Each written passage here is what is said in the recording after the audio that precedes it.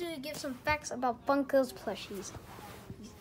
First of all, you know we love these plushies. These, don't we all? Huh? Don't we all know that that Candy Cadet did not get put in, in the FNAF 6 box plush. plush. And we know that that Molten Freddy wasn't in, in one of the plushies. Shh.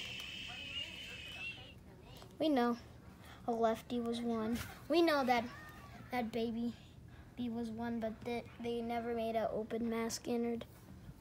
We know Freddy, but they are now making a withered Freddy. Like, look at this. We all love these plushies as much as we can. Like, like, give me this camera. Like, oh my gosh, I'm so rich. Nah, I'm so rich. Mm, I'm for that rich, and I got boom boom, and we both are rich. Mm, give me back my camera. No, give us this camera.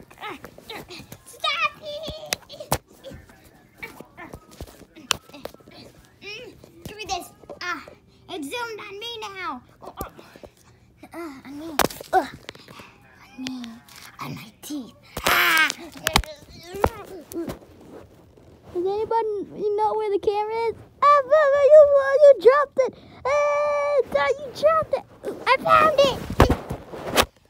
Might as well in the video here. No!